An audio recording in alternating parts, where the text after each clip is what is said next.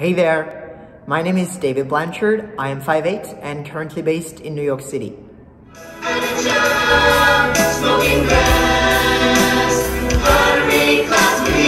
Could it be? Yes, it could. Something's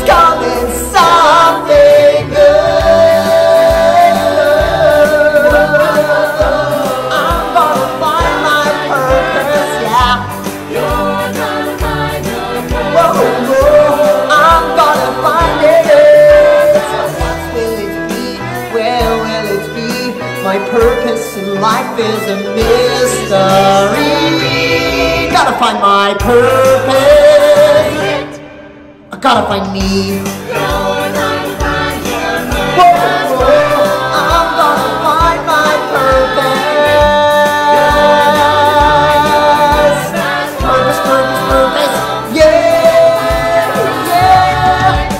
Find me.